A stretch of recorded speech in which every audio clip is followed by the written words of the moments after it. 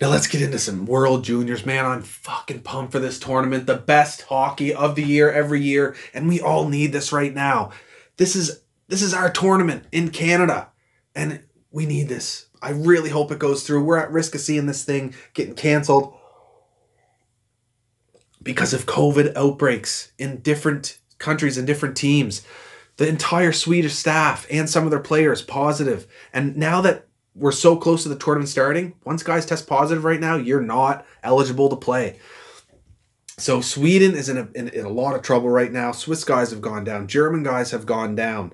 As uh, Canada dealt with their issues, but thankfully they had that six week camp going, and uh, you know they're back to practicing now. Hopefully, smooth sailing from here. We've had five guys released for health reasons. And then the US, they're going to be bringing guys up that are playing right now, not in any sort of bubble or protected area. It'll be interesting to see how their testing goes, but please, we got to get this tournament going. And I cannot wait to see what Canada Canada t- can do once we do get it going. The the talent up and down this lineup. You look, we're going to compare this team to the 05 team. You know, with the Crosby, the Bergeron, the Duncan Keith, the, the Perry, the Getzlaf.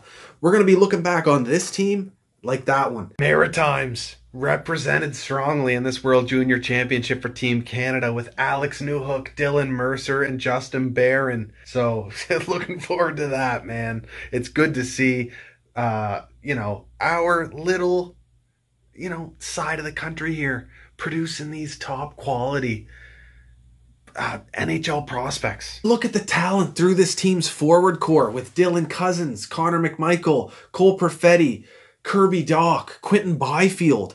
These are like all first round picks, incredibly talented players.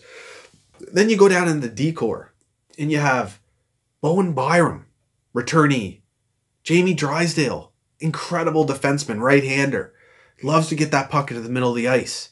That is two strong players right there. Then we're looking at possibly having Justin Barron from Halifax, who plays for the Halifax Mooseheads, joining this team. Very special player. Montreal Canadiens prospect Kaiden Guhle, who looks like a lock right now, according to Bob McKenzie. He's got that size, that similar play style to Shea Weber, despite being a left-hander. I'm fucking hyped about this kid. Very safe pick, looking like a strong pick for, for the Habs. I can't wait to watch him play. I think him and Justin Barron would make a bomb pair uh, for the t- uh, the Canadian uh, World Junior team. Guhle with that physicality, the size, you know, gritty in the corners and in front of the net. Barron with the skating, the puck moving, the the the mind for the smarts, and just the skill to go along with it. He's such a good skater. That's a terrifying decor for Team Canada. And out of the three goaltenders that are there, we're definitely going to come up with something strong. So can't wait for this to happen. And let's not forget the Russian rivalry. I feel like this rivalry is going to be the most intense it's been in a very long time, and that's saying something. We haven't heard a peep out of their camp. I am sure they are going to come in insanely strong into this World Junior Championship. They always have the size, the toughness, and the skill. Like they're always top notch in this tournament. They got Askarov in net. They've got a lot of uh, strong young players and skill. I don't know a whole lot about them, but why would I want to? They're Russians. I really don't care. Uh, but this is going to be a good rivalry. Can't wait to watch it out on the ice and settle a score. And hopefully, Canada defends this gold medal against them. Also, always love watching the, the players from around the, uh, the world, the rest of the tournament, prospects you might normally not watch, but you know, uh, Stützle for Ottawa. Like, he is going to be a really special player. Talk to him challenging Lafreniere for that first overall pick just uh, you know a few months back. This is a very talented center for the Germans. Can't wait to watch him play. Then, of course, he got Montreal Canadiens prospect Cole Caufield. Really good opportunity to see him rebound from last year. Cannot wait to see him play. Hopefully, he's up there on the first line. That's what it's looking like right now. You know, sniping, sniping goals, and really taking over this tournament. He really should, if if uh, he's the prospect that we all think and hope he will be for the Montreal Canadiens. Forget the Finns. They always cause problems for everybody. Sweden's been the strong round robin team for many, many years, but think of how many times we've seen the, the Finns upset them when it really counts.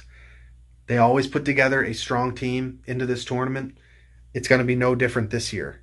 So be ready for them. I to me, Canada, Russia, Finland are the top teams in this tournament, especially considering what's going on.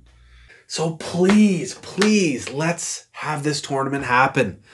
We need clearance in Alberta. Hopefully that comes through and we get this underway. Christmas Day, US Russia starting off with a bang. Then Canada's got Germany. We'll get to see Tim Stützle right out of the gate. That's so exciting. And uh, oh my God, I just can't wait for this tournament. It's always just quality hockey, fast, skilled, back and forth. The goalies put on a show. Oh, it's going to be unbelievable.